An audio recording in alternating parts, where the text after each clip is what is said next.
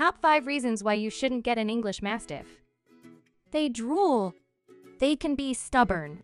They're huge and expensive. They are prone to many health issues. They unfortunately don't live as long as other breeds.